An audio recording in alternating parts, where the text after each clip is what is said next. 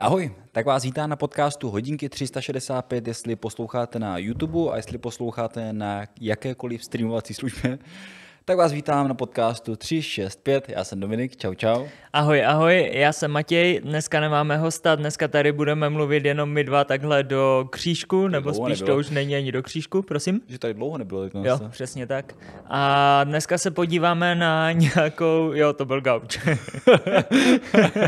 dneska se podíváme na nějakou naši cestu hodinkama, hodinkovým světem, protože už tady přece jenom pracujeme nějakou dobu a spoustu věcí se změnilo, spoustu věcí se možná nezměnilo vůbec a tak nějak do křížku si budeme dávat otázky a podíváme se na to, jak to vlastně vypadá v naší práci. Jako jenom abych to teda dal na pravou míru, proč, proč nás to vlastně napadlo, tak před pár týdny, třemi týdny, tak vychází nějak tak, tak vlastně to byly přesně čtyři roky, co tady pracujeme a to možná ani jako nikdo neví z našich posluchačů no. nebo těch, co sledují recenze, takže my jsme vlastně nastoupili úplně ve stejný den. Takže my spolupracujeme čtyři roky, úplně prvního dne jsme, jsme, jsme nastoupili více ve stejnou minutu. Takže... Přesně tak. Myslím, že jsme šli spolu i do dveří normálně. Ty jo? jo? Je to možné, takže vlastně jako jsme tady opravdu do toho baráku, tak vlastně spolupracujeme už od té doby, takže takže to jsou vlastně přesně čtyři roky už od 1. července jsme nastoupili, že? Ano, Nějak ano, tak. myslím si, že jo. Takže dáme nějakou rekapitulačku. Jo, co se vlastně na ty čtyři roky změnilo, co plánujeme, po případě, jaké byly naše nějaké zážitky, což mě přivádí, zážitky. si teda můžu vykopnout jako první tu otázku, já to mám tentokrát na telefonu, takhle. Já to mám teda taky na telefonu a zážitky tam nemám, ale něco vymyslíme určitě. Uh, mě jako první napadlo, no? že bychom si oba mohli popovídat o tom, jaké byly úplně první hodinky, které jsme recenzovali. Eh, my jsme tady... To tady mám taky. To tady máš taky? My jsme tady nastoupili, protože jsme to měli přímo jako úkol, tak yes. můžeme oba povědět o tom, co jsme recenzovali. Tak co bylo to první, co jsi měl jako recenzi pro hodinky 365? No, to bylo málem to, kvůli čemu jsem se tady nedostal. Říkáš, to byly málem první a poslední. to byly málem první a poslední hodinky, co jsem tady recenzoval, protože jsem dostal teda na recenzi, jestli si dobře pamatuju, tak Sunto 9 Baro v bílé barvě, ještě jsem je dostal. A vlastně, když jsem tady přišel, tak... Uh, jsme měli dostat nějaký ten úkol. A úplně si pamatuju, jak jsem stál ještě nahoře v našem starém kanclu a kolegyně Agata nám zadávala ten úkol a já jsem říkal, no, jestli můžu poprosit, tak nějaké Garminy a ona řekla, ne, dostaneš Sunta. Říkám, mm-hmm, OK, super. Takže moje první recenze byla na Sunta a docela jsem se s tím pral, protože jsem samozřejmě měl nějaké Sunta předtím, myslím, že jsem měl Ambity trojky půjčované celou dobu, ale ty hodinky mi nějak prostě nebyly blízké a nepsalo se mi to úplně z lehkostí, když jsem měl recenzovat něco, co jsem jako úplně nedával prostě filozoficky, jo, v tu chvíli. Takže v tomhle tom ta recenze byla hodně těžká a pro mě to přece jenom bylo takové jako hodně lámané ta recenze. No. Mm-hmm. Přes koleno. No, já jsem měl jako první, nebo chtěl jsi že pokračovat, a ti do toho tak... Uh, ne, klidně můžeš, protože já jsem vlastně měl na tebe tu otázku, že první recenzi, co jsi psal, tak byly na Samsungy, jestli mm-hmm. si dobře pamatuju, a ty si hlavně předtím neměl vůbec žádné to chytré to hodinky. Taky, jo. jo. Takže jak si ti to psalo vlastně? No, tak vlastně já jsem psal Samsung Galaxy Watch Active 2, ano. to byly konkrétně, a vlastně si myslím, že jsem měl jako velké štěstí, že jsem ty hodinky dostal. Protože kdybych podle mě dostal jako Garminy nebo Sunto, protože to byly úplně první chytré hodinky, které jsem kdy v životě měl na ruce. A ty Samsungy byly jako dost podobné tomu, jak funguje telefon. Já jsem samozřejmě vždycky byl jako technický typ, takže jsem jako s počítačem jsem si vždycky hrál s telefony mm. a se vším. Tak si myslím, že jsem měl právě jako velké štěstí, že jsem chytil ty Samsungy, které uh, byly řekněme, jako trošku blíže tomu chytrému mobilnímu světu, než třeba kdybych chytil jako Sunto a Garmin, tak bych si řekl, co, co s tím jako mám dělat. Mm. Prostě. Ani, ani, ani, jsem v té době jako nebyl takový sportovec, takže vlastně si myslím, že jsem měl fakt jako velké štěstí, že jsem zrovna chytil ty Galaxy Watch Active 2 a to si vzpomínám, že byla moje úplně jako nejdelší recenze, kterou jsem kdy, jako doteď, za ty čtyři roky napsal, protože si vzpomínám, že jsem to jako fakt vzal jako úplně z gruntu. Já jsem tam popsal úplně jako všechno. Já jsem projel celé ty hodinky, všechno jsem to proklikal, všechno jsem popsal a tak dále. To byla jako neskutečně dlouhá recenze. Já si myslím, že na normostrany to mělo nějakých 14 třeba normostran, nebo já nevím, to bylo, jako, to bylo sakra dlouhé.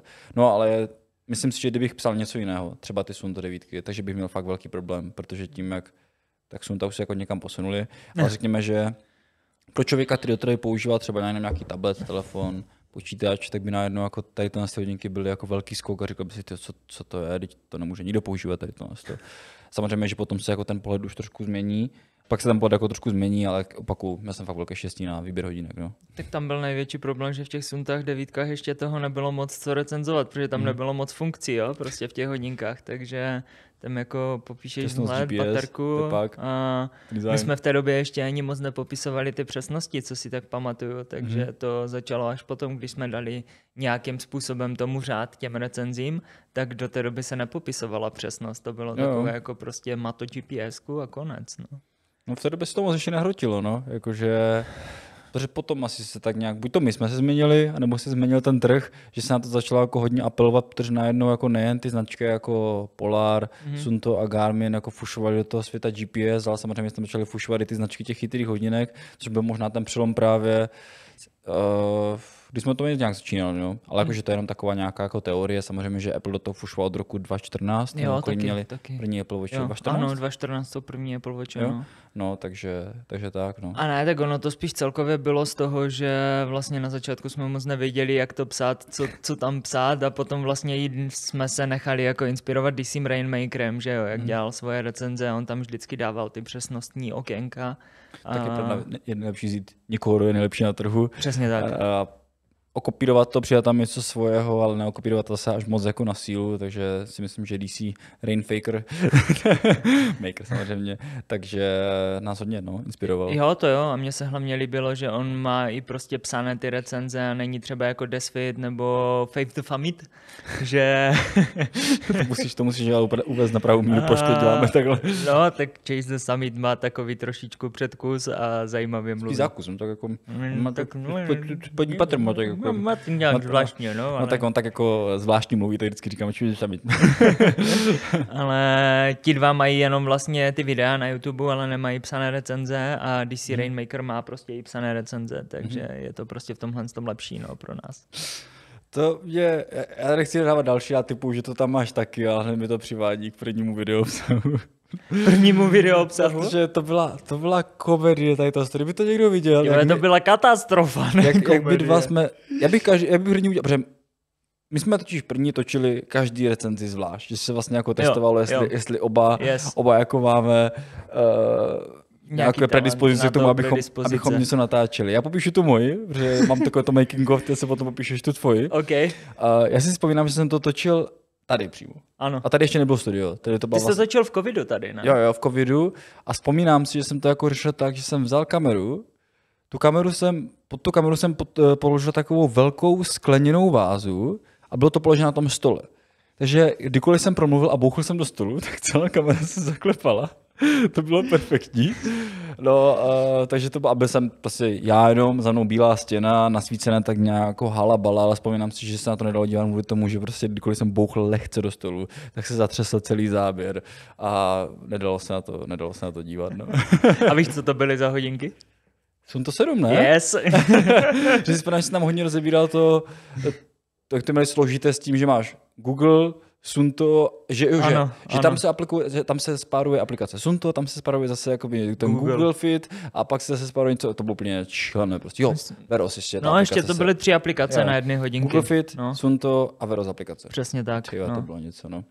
Někoho to napadlo. No, co tvoje první recenze? Ty moje... jsi točil doma, jestli si vzpomínám správně. Yes, moje první recenze byla taková, že jsem se tam snažil už od začátku nějakým způsobem dávat ty záběry zvenku, takže vím, že jsem začínal na jednom kopci nad Bystřicí na Dolší a tam jsem začínal a začínal jsem něco jako pojďte se se mnou proběhnout a takhle jsem vlastně jako začal tu recenzi. Hmm.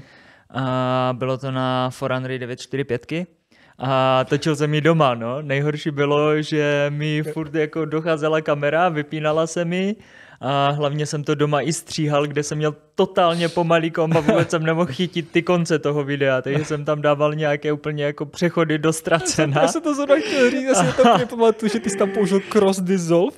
Ne, to nebyl cross, to byl no, ještě nějaký úplně ne, přechod do ztracena. To 100%, 100% to bylo, však to je cross dissolve, že to vlastně jako no, jo. přejde jako z jednoho do toho druhého. A to by vlastně ten obličej jako úgněný. no teď to ocenili zase samozřejmě, tak ten jako efekt. Všichni fanoušci audio obsahu. jo, ale to, co si vzpomínal. Jo, ty, a taky jsem to měl položené někde na stole a mluvil jsem z počítačové židle, která úplně vrzala, takže jako to bylo brutální docela, no. no a potom naše první recenze, to si vzpomínám, že my jsme nevěděli, kde to máme točit, tak jsme šli ještě před otvíračkou na, na prodejnu, kde jsme si dali, jsme museli donést stůl. To nebylo světlo. před otvíračkou, to bylo taky v covidu a bylo otevřené bylo videjní vlastně, okénko. A my jsme natáčeli vzadu. dokonce jo. v tom jednom eh, jde slyšet, jak Agáta mluví k někomu k videjnímu okýnku. Když se fakt zaposloucháte, fakt? tak to tam jde slyšet. Ale já si ani vzpomínám, že toto mu se vždycky smějeme. Zaprvé tam vypadáme úplně jinak. Já tam jsem o 10 kg eh, starší. Ty vypadáš, jako by si se na to odešel z Auschwitzu. Nejen, nejen tělem, ale i hlavou. Tím myslím, jako, že jsi byl fakt jako ohlený úplně. Jo, já jsem byl úplně, no. No, ty jsi byl úplně na ješka. Já jsem zase měl drdol na hlavě ještě v té ano. době. A co bylo nejlepší, tak ty židle. My jsme totiž zvolili jako židle, u kterých jsme seděli tak, že jsme přísahám Bohu ten stůl tak po bradavky nám trčelo jenom jakoby od bradavek nahoru tělo. A vzpomínám si, že jsme seděli na takových těch kancelářských židlích a no, že jsme se oba na tom furt houpali, točili a tak. tak to vždycky jsme hlavně začínali ten záběr úplně jinak posazení. Takže to bylo jako docela brutální. Ale já se ještě vrátím chviličku před tu chvíli, než jsme začali točit a než jsme začali nějakým způsobem pracovat s těma chytrýma hodinkama úplně na začátek protože my už jsme říkali, že ty si první hodinky měl vlastně v ruce až tady v hodinkách 365. Mm. Já už jsem tady šel aspoň s tím, že jsem nějaké hodinky testoval, i když to byly sport testry. Jak to pro tebe bylo těžké se to doučit? Jako studoval si brutálně moc po nocích, nebo jako, jak jsi to vlastně zvládal v tomhle tom? Jakože já si použiju takovou tu klasiku, co mám odpověď úplně na všechno. Já mám hrozně dobrou paměť. Takže třeba já si jakože něco přečtu prostě a automaticky si to jako jsem, jsem schopný jako fakt rychle zapamatovat. Vzpomínám si jakože že to nebylo až tak těžké, popravdě. Mm-hmm. Že si vzpomínám, že tím, že jsem jako technický typ, to bylo snažší v tom, že jsem si prostě půjčil nějaké hodinky. Vzpomínám si, že jsem si možná ještě, my jsem dlouhou dobu používal Forerunner 245, jsem s tím byl jako moc spokojený. 735, ne? Ještě si používal. 735, ne? Si ještě používal. 735 jsem taky používal, ty jsem používal až potom. Aha. Ale předtím jsem používal 245, vzpomínám si, že ty jsi měl 235 ještě. Ne, ne 245 jsem měl, ale tu, ne, tu, Já jsem měl ne music verzi Ne music verzi no, jsem měl. měl. Jo, jo, to jsem měl svoje právě ještě ano, hodinky. Ano, to byly moje hodinky. No. Jsi pak prodal, nebo jsi s tím vlastně udělal? Ne, já jsem je prodal. no, uh, a vzpomněl jsem si, že jsem si vzal taky 245 a že tím, jak jsem potom začal jako používat, tak jsem se jako Garmin naučil fakt jenom tím, že jsem jako fakt si jako všechno zkusil. Mm-hmm. Jako, že jsem, protože já když jako pro něčeho chytnu tak nějak jako vášeň, tak, tak jsem jako většinou jdu jako tak jako hodně do hloubky a tak to, to bylo jako s těmi hodinkami. A myslím si, že jsem se to naučil jako překopit docela rychle jako si myslím, že jako do pár měsíců už jsem tak nějak jako věděl jako skoro všechno, ale nejtěžší byly asi jako ty ostatní značky. Prostě já to jsem taky, ale vím, že jsem zkoušel jako všechny značky. Jsem mm. prostě používal nějakou dobu Sunta, že jsem používal nějakou dobu Polar, pak jsem používal nějakou dobu prostě ten Koros a tak dále, ale abych prostě si to jenom jako otestoval, když to řeknu blbě, tak ono se to až tak jako nikam neposunulo, ty aplikace, jaké tam jsou funkce a tak dále. A když přijde nějaká funkce, tak oni vím, mm. protože to vždycky vypíšou v té recenzi. Jo, no. jo, přesně. No. Takže, ale jakože neřekl bych, že to bylo úplně úplně těžké. Myslím si, že když člověk do toho má ten zápal, tak to jde samo.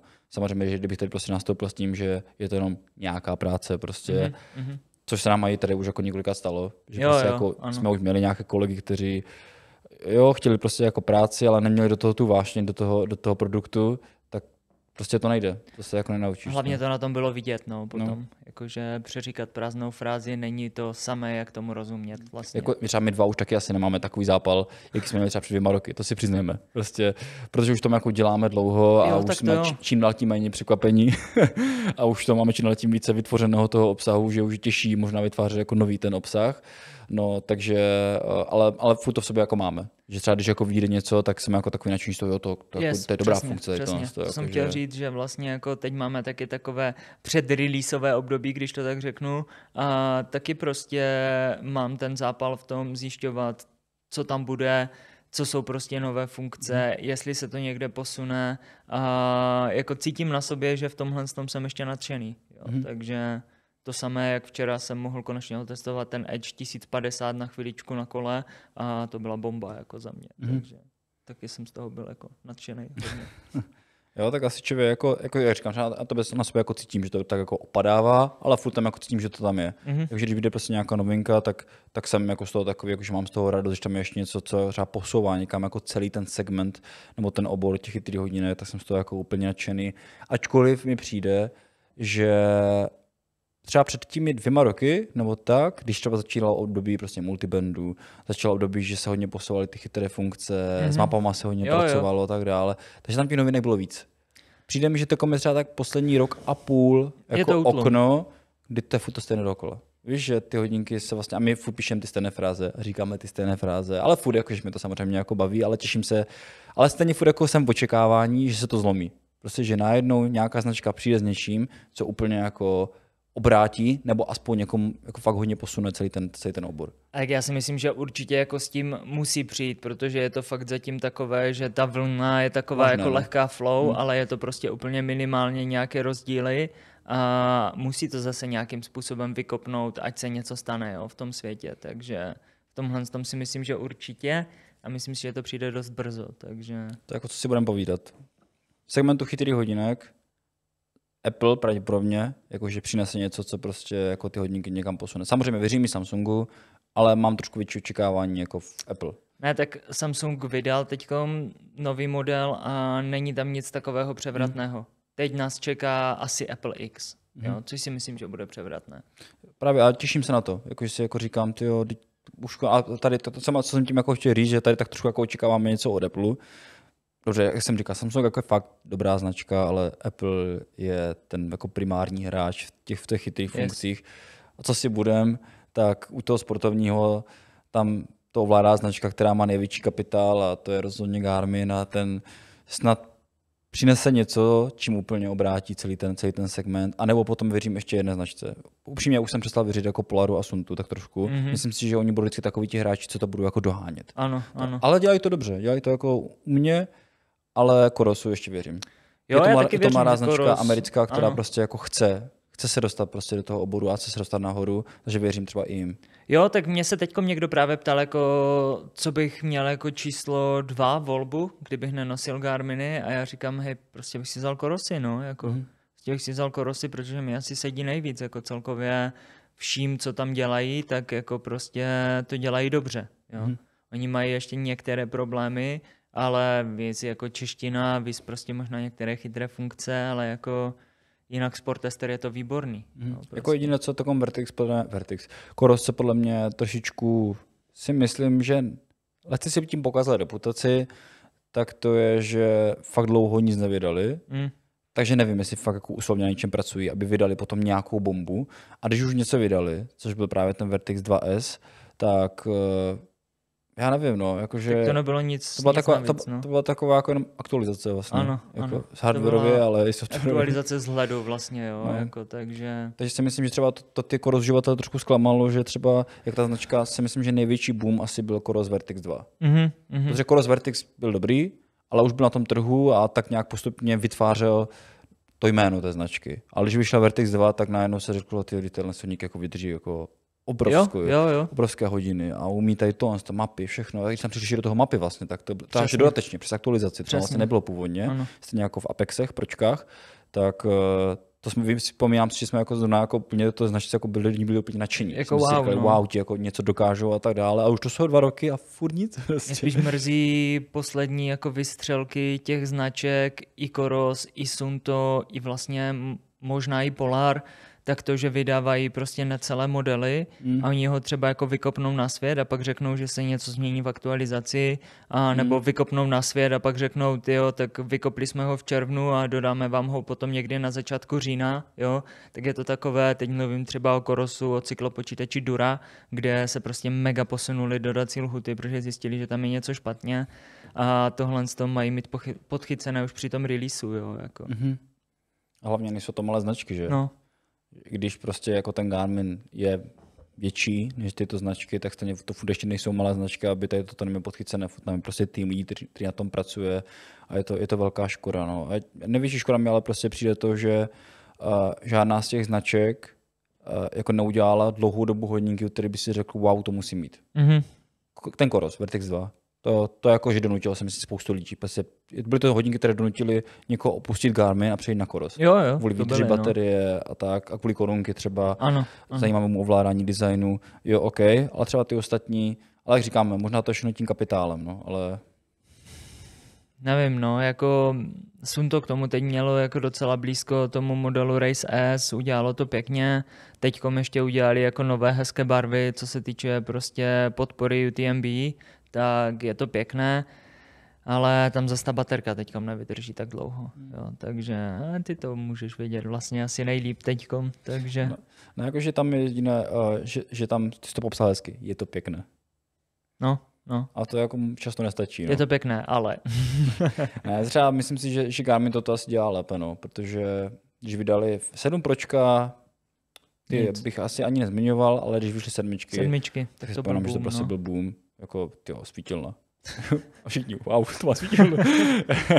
a tolik novinek, co tam jako bylo, víš, tak to, to byly jako paradní. A doufám, že zase znova něco takového zažijeme, prostě v tom, že to prostě trošku posune ten svět. No, já, já doufám, že už to zažijeme v trošku klidnější ráži, protože když vyšly sedmičky, tak si pamatuju, že jsem vole rozlepil oči, měl jsem jít na prodejnu, ty jsi už byl dávno v práci já jsem rozlepil oči a najednou jsem viděl recenze Garmin Fenix 7 DC Rainmaker, jako. Mm-hmm. a hned jsem ti to posílal a úplně jako wow, to byl ještě kalousek na nákupu, ty jo. Mm-hmm. Je to, to neví, to je.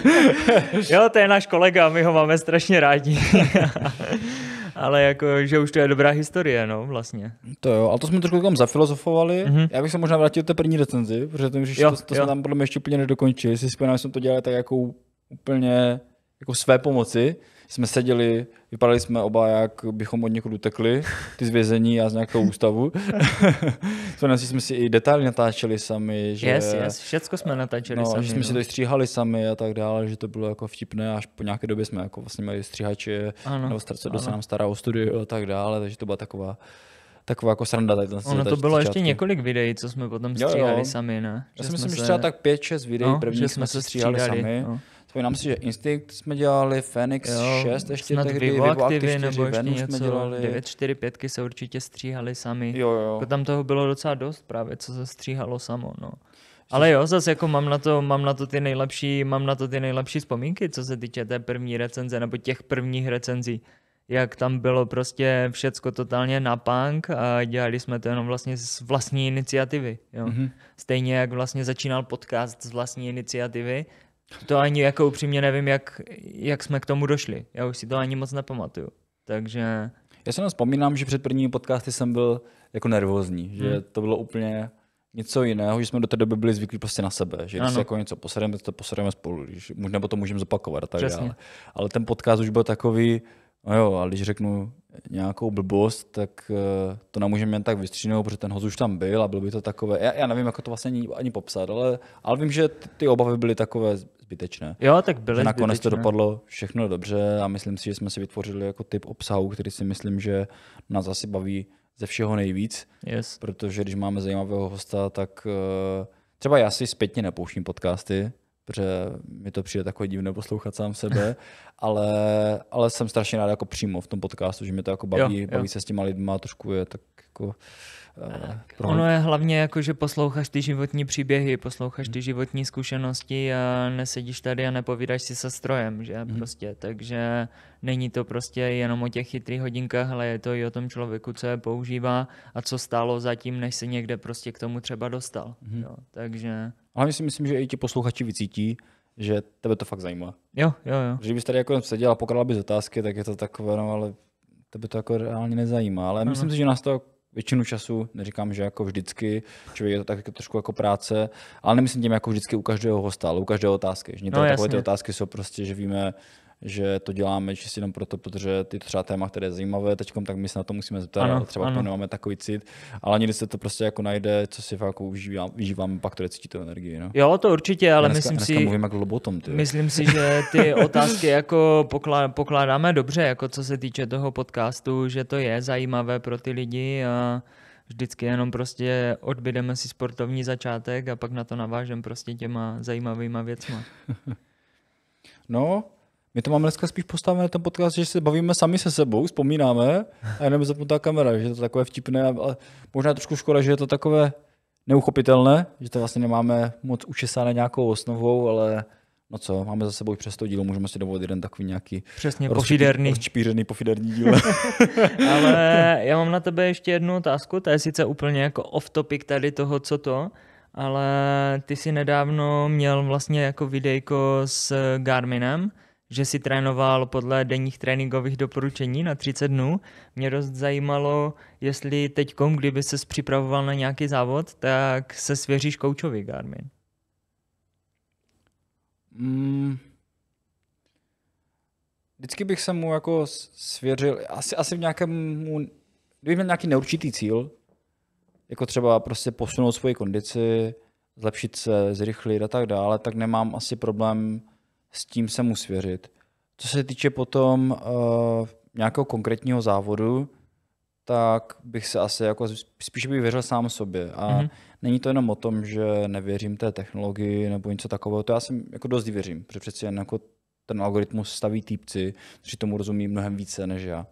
Ale přijde mi, že kdybych se připravoval na nějaký závod, tak bych v tom chtěl být bude to zní narcisticky, ale chtěl bych tom být jako 100% já. Prostě já jsem si vymyslel, jak budu trénovat, mm-hmm. uh, já jsem si vymyslel prostě, co budu jíst, jakou budu mít taktiku a všechno. A měl bych z toho potom mnohem větší radost, bych si prostě řekl, jo, trénoval jsem to, jak jsem to cítil a přineslo to ovoce. Mm-hmm. Samozřejmě, že bych měl člověk radost, kdyby to dokončil jako i pomocí tady toho tréninku, ale já jsem tam jsem takový jako trošku narcis, že ale my jsem takový jako Fedra Šiška, že vždycky věřím sám sobě nejvíce, takže jo, ale asi víš, kam ti směřu, že prostě jo, to, jo, jo. ta, ta, radost z toho, že bych to dokázal, kdybych si to jako celé dokázal sám i tím tréninkem, který bych si vymyslel, tak by pro mě bylo jako nedocenitelné.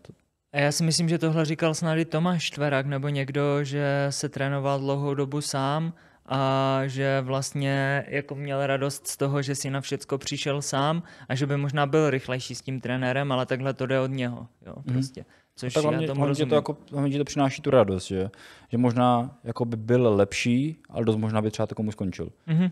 Protože by třeba to, že je svázaný tím dalším člověkem, který mu do toho vstupuje, tak by ho najednou jako tak přestal bavit ten sport, že by takom třeba neběhal. Jo, jo, ale tím, že to prostě dělal pro radost, sice možná méně efektivně, ale pro radost, tak to dělá zase jako dlouhodobě, což je vždycky to, to nejdůležitější konec konců. Jo, jak když to třeba jako svážu, teda navážu na sebe, tak jako tohle to pro mě je to taky vlastně zajímavé, protože letos poprvé netrénuju podle plánu a mám tam nějaké rychlejší session, mám tam, mám tam nějakou kostru, že vím, co hmm. dělám prostě v tom tréninku, ale nemám to prostě napsané přesně v té excelovské tabulce a paradoxně se mi trénuje líp, jo, teďkom, takže... To protože to prostě teď děláš pro radost, no. Takové to, jako, že nemá žádná očekávání, prostě jenom ať tě to baví, ať se nezraníš. A, a to je vlastně jako vždycky to nejdůležitější. Jo, jo, jo. Ale je super, že ti to jako baví takhle. Vzpomínám si, že jsme měli jeden podcast, kdy já jsem byl ten, co byl ta strana, jako trénujeme na punk a na pocit a ty se byl tak trošku ta strana, že to musí být nějaký řád. Tabulka, všecko, no. Tabulka a tak dále.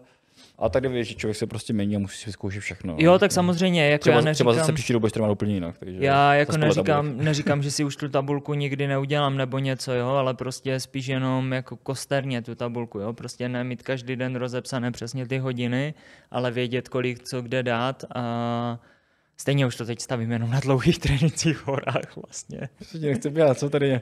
Poklusávat nějaké desítky po asfaltu, co? tak já si to sem tam dám, ale prostě radši, já nevím, radši si místo té desítky na kole, prostě, místo té desítky při běhu, tak si vyjedu třeba na dvě hoďky na kolo na silnici, protočím nohy, ale potom jdu další den třeba na Palkovické hůrky a tam dám prostě dvě a půl hodiny běhu, prostě aspoň v terénu a v nadmořské výšce, nebo jako v nadmořské výšce, v, s výškovými metry vystoupanými. Mm-hmm. Jo. Takže Jasné. a když vím, že mě potom čeká nějaký 3-4 hodinový trénink o víkendu, tak prostě je to v cajku, no. Se radši poválíš doma, že? nebo na kole protočíš? jo, tak mě to kolo začalo teď bavit docela. Člověk, hmm. když má lepší kolo, tak ono to i jede, takže... Možná bychom mohli pozradit třeba nějaké jako plány, třeba které, které máme. My jsme to vlastně dělali na začátku roku, myslím, jsme dělali podcast, nebo to bylo ke stému podcastu? Teď to bylo možná nevím. ke stému podcastu? Ani si nejsem jistý. No, tak třeba, co je pro tebe takový, jako kdybychom vypíchnout jednu věc, třeba z hlediska jako našeho obsahu, co bys chtěl jako, do, nebo ne obsahu, ale třeba i firmy, tak co bys chtěl tak jako dokázat? Co bych já chtěl ještě hmm. dokázat, tak eh, jako teď hned první co, protože jsem nad tím nepřemýšlel samozřejmě dopředu, ale první co, tak ještě trošku více možná spojit s tou komunitou v rámci nějakých těch tréninků nebo v rámci prostě nějakých komunitních můžou to být prostě setkání, běhy, workshopy, cokoliv takového, tak si myslím, že tohle by bylo prostě fajn. Jo. Ať... A jsou tam lidi. Co? Jsou tam lidi. Teď k ním mluvíš. Takže jako pro mě myslím si, že i pro náš obsah by to bylo takové jako obzvláštnění. To samé pro mě teďkom bylo to vymanění z těch recenzí a z těch podcastů, nějaké natáčení těch vlogů, což zatím to není úplně jako pro mě nejpřirozenější věc, postavit se někde na kameru a takhle mluvit v centru města. Ale je to zase zajímavá zkušenost Nemůžu říct, že mě to baví, nemůžu říct, že mě to úplně nebaví, je to něco mezi, ale je to takové, že se do toho nemusím nutit a že někdy tu kameru jako prostě chci vytáhnout, ale do toho, aby mě to bavilo, tak ještě musím ztratit asi veškerý ten stud, jo, prostě. Což ten já zatím ještě mám a někdy jsem třeba buď líný vytáhnout tu kameru, anebo si říkám, hm, tady se to moc nehodí to vytahovat tu kameru, tak to radši potom domluvím někde v klídku bokem, jo. Mm-hmm. Takže, ale ty vlogy mi přijdou docela zajímavé, jako když je to z nějakého prostě závodu, kde jsme prostě v zahraničí a člověk tam má co ukázat jo, těm lidem a má hlavně co ukázat, co se týče prostě povinné vybavy, co se týče registrace, může jim pomoct na další roky. Mm-hmm. No a jak to vidíš ty? Já jsem si uvědomil v tom moment, jak jsem ti tu otázku položil, že úplně nevím, co, vlastně mám říct. Uh, jakože ta komunita vlastně, teď si má pravdu s těmi jako běhy, že jako vždycky bude super jako se setkávat s tou komunitou, protože ačkoliv říkám, že nemám rád lidi, tak eh, kdykoliv někde jsem a někdo třeba řekne, jo, ty si ten z toho, tak jako jo, uděláme to radost, to, to. Třeba jsem... Počkej, já tě ještě přeruším, omlouvám se. Já jsem teď byl na tom vlastně závodě a předbíhal jsem nějaké holky z 50 kilometrové trati, bylo to z kopce, docela rychlosti a ty dvě holky, zdravím je, pokud se koukáte, ta, ty, ty, ty dvě holky úplně hej, to je ten Matěj Urbačka, to je ta legenda z těch hodinek 365, my vidíme tu živoucí legendu a já říkám, no já jsem spíš teď taková mrtvá legenda. A, on, a on, oni potom říkali, no a kolegu tady máš taky? Až se to začalo boje břicho, že? Jak to dělalo dobře na jako. ne, já jsem se smál, protože jsem zrovna fakt chytnul nějaký dech a potřeboval jsem rychle běžet, takže jsem to moc neřešil. Když už říkáš ty příhody, tak taky řeknu jednu příhodu. My jsme Uh, běželi jsme jako taková skupinka teďkom Beskidsky Double a to víš. A byl tam i Titus. No a teď se k nám připojila úplně po náhodě jedna slečna, že vidí, že jako běžíme a že ona tam je s taťkou a taťka chce jít, takže poběží s náma. A my jo, jasné. A ona potom se na mě tak dívala a říká, Náhodou ty ten, co dělá ty hodinky? říkám, jo, jo, to jsem. Obdělal jsem se na Tituse a říkám, a tebe nezná. Protože víš co, Titus jako, že ano, to jako legenda je tady ultra prostě a, teďko, a Titus se začal smát, že si se jako dal pěstičko, jako, že, že to vzal jako ze srandy a tomu, tomu jsem se jako fakt zasmál, že prostě jako naše jako hodinky, jo, ty jsi ten z toho a tam prostě stojí tu. ne, já si právě myslím, že, že, že tak jako komunita by to mohlo být fajn. No, jo, jo. Jako ty komunitní výběhy a další věci. Ne, jakože když jsi říkal ty něco, tak mě by se zase líbilo uh, z takového toho technického hlediska, tak tím, že třeba si myslím, že máme dost velký přehled jako o všech značkách a myslím si, že máme hodně velký přehled třeba o tom Garminu. Můžete přijít nějaký Frda Šiška, nějaký Michal, že, že třeba by se to dalo dělat více technicky a tak dále. My bychom to i dokázali víc technicky, ale zase potom jako otázku, jestli ta naše cílová skupina, kterou my máme, jako to nutně potřebuje. Ale líbilo by se mi, kdyby třeba bychom dostali možnost třeba být trošku více ještě v tom světě toho vývoje. Jakože tím myslím, že tady prostě v Česku se pohybují lidi, kteří yes, nosí ty hodinky, myslíš. třeba i před releasem a tak dále. Nejsem úplně přesvědčen o tom, že to často jako nosí lidi, kteří by jako technicky třeba byli tak zdatní a myslím si, že zrovna třeba my i bychom jako podle mě dali jako větší vhled do toho.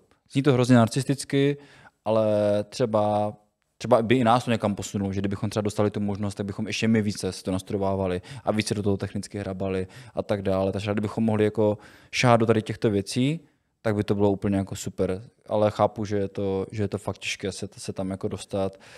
Je eh, to, je to jedna ale... z věcí, co jsem taky zmiňoval, jako že být ten celosvětový tester by bylo vlastně jako top jo, v tomhle tom a mít možnost to testovat hodně dopředu. Ty. Čemu jdu úplně potichu teď. Sorry. Jsem nad něčím ještě přemýšlel, ale to tu radši nebudu říkat. Ale jo, souhlasím s tebou, že si myslím, že ten přehled na to máme a že na té úrovni jsme a možná jako, že jsme na vyšší úrovni než ty lidi, co to testují. Takže... Ježíš, my dostaneme hejt za to, že jsme bude, to bude neuvěřitelné. No ale každopádně, kdybych, kdybych jako nezhazoval, kdybychom pominuli zhazování těch ostatních lidí, ti ostatní do toho přinesou jako hodně. Samozřejmě, tak, jsou to zase tak, jako myslím, velcí že, sportovci, že, jo, ti ano, ostatní. Tak. Jo, jsou to zase velcí sportovci, ti ostatní, takže to vůbec neberu. Jo, jako. Ale zase na druhou stranu, my to můžeme zmínit jako takový ten náš sen, že by se nám líbilo být ano, součástí ano. tady této skupiny lidí, co toto dělá. Přesně. A vlastně tím vůbec nemusíme nazvat ty ostatní. Takže jsme to mohli vlastně říct úplně celé jinak, jsme, zbytečně, jsme, jsme, jsme si to zavařili. si myslím, že jsme stejně jako nezhodili úplně, tak možná technicky, technicky jsme na tom lépe my, někteří jsou na tom lépe sportovně, jo, prostě, mm, jo, takže jo. jako v tomhle tom OK, jo. No já si myslím, že z toho technického hlediska ještě zvládáme dost. Co? myslím, že z technického hlediska zvládáme dost. jo, jo, jo. Tak já si myslím, že i z toho sportovního hlediska zvládáme dost. Uvidíme, kdy bude Kopřivnický Everesting. No, no. Co? Já teď ne. Nejdeš ani do Kopřivnického Everestingu. Jo? Uh, jo, jakože uvidíme ještě, ale se, chtěl bych se tam prostě zastavit minimálně. Jakože ať už běžím nebo ne, tak prostě zastavit se tam jako určitě. Jo, protože jo. to je prostě, když, když to mluvíme tolik let, prostě jako no, je to nejlepší právě, akce, právě. tak eh, si to nechám jako ujít, žádnou cenu tady to to. Ne, bylo by to super, kdyby to, to zase vyšlo no, na konci sezóny. Takže třeba mi by se líbilo tady to, že třeba to je trošku jako ten, ten druhý konec toho, toho našeho jako obsahu, že ty jsi to ta komunita, to je vlastně mm-hmm. ten konečný článek, tak on se spíše ještě jako předtím. Jo, vlastně jo, ten, jo, ten jo. vývoj. Ale to by se mi jako moc líbilo. Protože máme i výhodu v tom, že prostě známe všechny značky, Máme to osáhne, spousta zkušeností, že ano. My se úplně prodáváme, že teď. Jo, no. tak už, to, pokud... už to můžeme asi opustit, po... nepadáme jako, jako yes. jedni, jedni velcí narcisy. Uh, máš ještě něco, co, co chtěl zmínit? Já už jsem tam neměl, já už tam nemám nic. No. Já tam potom mám ještě recenze, která tě nejvíc bavila, ale to já bych taky horko těžko jako vzpomínal, která mě nejvíc bavila. Ne, já vím, která mě nejvíc bavila. Jsem no, si vzpomněl. Tak eh, chceš zmínit? No, klidně povídej ty, já nad tím buď budu přemýšlet, ale, nebo řeknu, že nevím. Ale ty možná taky víš, teda to je. Vzpomínáš si na jednu recenzi, kterou jsem si fakt jako, ta byla psaná a tu jsem si tu psanou verzi fakt hodně užil. To bylo během covidu GBD H1000. Jo, GBD Casio H1000. G-Shock, G-Scout, tam je. Jo. GBD H1000. To byly prostě jako první chytrá Casio eh, s snímačem tepové frekvence, ano, nebo ano. nevím, jestli byli první, ale první už je, co se nabízeli u nás na trhu. A vzpomínám si, že já nevím, co, co mě tam chytlo za rapel, jak jsem tam prostě jako vymýšlel jo, blbosti. blbosti ve stylu notifikace, které jsou spíše komplikace. Jo, jo, jo. Uh, a ty jsi měl ještě nějakou svě- takovouhle recenzi, kde tě to chytlo potom. Světýlko, které urazí, naštve a ještě něco, něco takového. Jo, jo. Já jsem, já jsem tam vymýšlel takové jako kraviny, jsem dával ty titulky a to si vzpomínám, že to tam mě jako vložně bavilo. Jo, a to, jo. to je právě jako super v tom, že když jako člověk dostane nějaký takový jako kontroverzní produkt, který v něčem, nějaký aspektech třeba v tom designu, ten mm-hmm. G-Shock prostě jako je perfektní. Jakože, jo, nebo jo. ne perfektní, ale jako má k tomu hodně blízko. Tak uh, tam ten design ale potom jako to, že ten přesah do toho chytrého světa, kdy jako tam nejsou až tak šikovní, třeba tak to mě úplně bavilo teď nás to jako, že, protože to je produkt, který se ti jen tak dostane do ruky. Prostě ty Garminy jsou si podobné, Sunta jsou si Polary, všechny značky furt jako víceméně vytváří dost podobné produkty a toto najednou bylo úplně, ha, my jsme jiní. já si nemám ani psanou, ani, ani videorecenzi, která by mě jako úplně nejvíc bavila nebo něco, takže... Mě vždycky baví to natáčení venku, nevím proč. Mm-hmm. Co jsem si jako hodně užil, tak bylo prostě ty natáčecí dny v Tatrách. To, to mě, mě bavilo, bavilo, to bylo super. Kdy prostě jako... v Tatrách, já, to myslím, já myslím no, Fatru. Na Fatře, sorry. Na jo, takže ty myslíš to stejný. jo, myslím to samé, myslím to samé na Fatře, no tam ty, tam ty natáčecí dny byly prostě dobré, protože jsme stihli dost té práce a přece jenom jsme se tam ještě posrandovali, vyšli nahoru na kopec, vytáhli tam našeho kameramana. Ten, ten pindal. No, a chtěl jsi to říct jinak, že? Já jsem to říct trošku jinak, ale on by to vystřídil. Zrovna, zrovna včera jsem si na to vzpomněl, protože jsem projížděl jako Instagram nějaké storička a byla tam jedna známá přímo na těch schodech, kde jsme šli nahoru, tak ona šla dolů.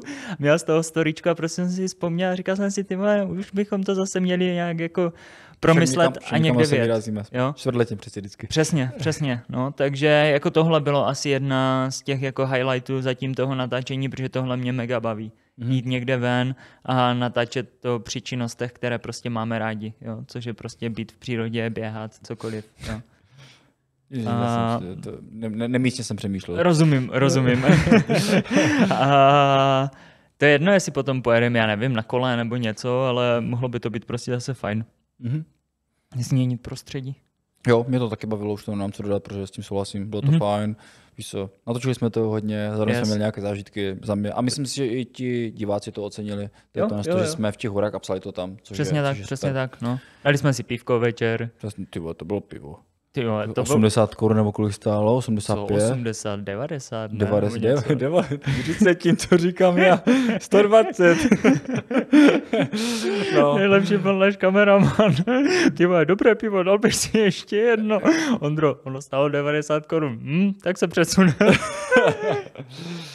Ale bylo dobré. Bylo dobré. Ne, bylo výborné, no. Byl to nějaký jako tam domácí přímo pivovar z toho místa a bylo fakt skvělé. To Jo, jo.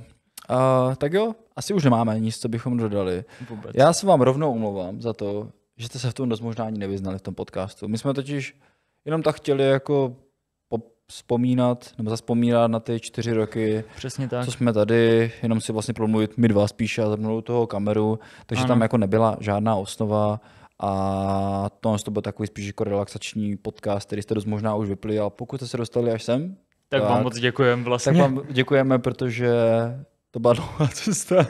Věřím tomu, protože dneska to bylo hrozně rozevláté, ale co, Yes. no.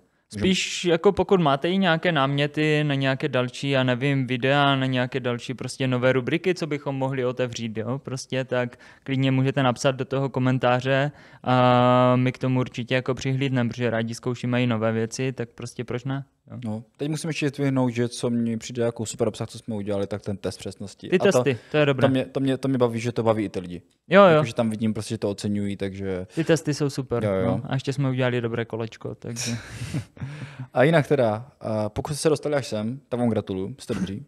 A ta druhá věc je to, že pokud vás to třeba i bavilo, tak nás můžete podpořit nějakým tlačítkem v okolí toho rámečku, na který zrovna koukáte. Po případě, jestli jste na nějaké streamovací službě, já ani nevím, co tam jsou za tlačítka, je tam něco jako like. já myslím, že tam je něco jako like a teď tam jsou docela i nějaké komentáře, ale já furt nevím, jak se k tomu dostat na tom Spotify Podcasters. Uh, Dominik s Matějem před 20 minutami jsme hodně takové technické typy. Ne, tak ono na ně nejde o, o, o, odepisovat, když jsi na počítači, No. jenom na telefonu. A já to v telefonu prostě nemám, ten Jo, Spotify tak for no. po, po, Podcasters. Spotify Takže- for podcasters. Yes, Spotify for Podcasters. OK, už tady čím končíme. Dobře, Už moc meleme. Teď ten bude nasraný, ten náš stříleč. tedy hubu a ukončit. Říkali jste půl hodiny.